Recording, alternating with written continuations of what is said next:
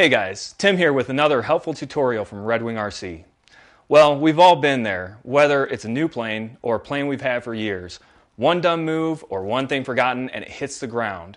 And a lot of guys are overwhelmed by the idea of repairing a plane, and for good reason. A simple repair can take hours. And if you assign even a modest cash value to your time, well, it's simple math.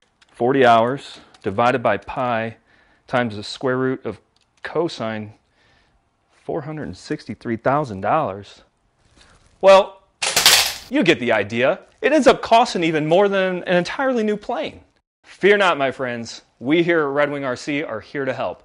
We found a way to streamline the process in just three easy steps. Yeah, that's right. But you will need a few things.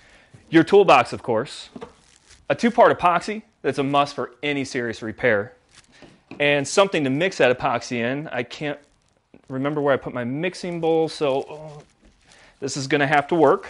It might be a good idea to have a computer on hand so you can look up different uh, repair techniques as you go. My good buddy Alex volunteered this plane for this demonstration. Thanks, Alex. As you can see, it needs a little work on the firewall and on the undercarriage.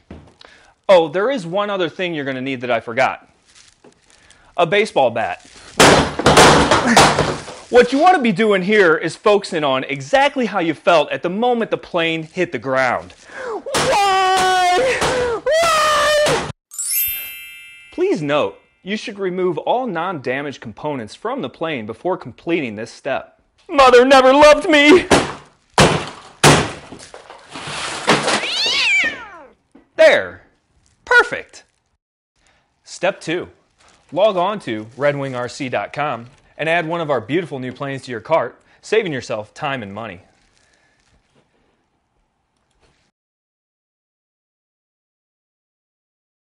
Step 3.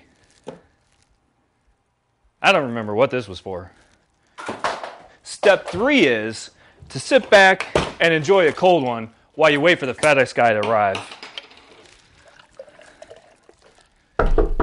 Holy is that the FedEx guy already? It sure is.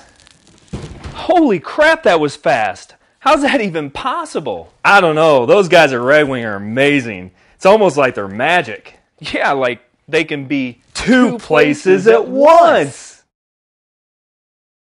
Well, I gotta go deliver some more awesome Redwing planes. All right, well, thanks and see ya.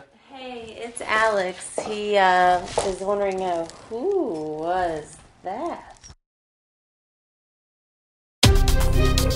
You know, you remind me of someone. I'm not sure. What the f- is going on here?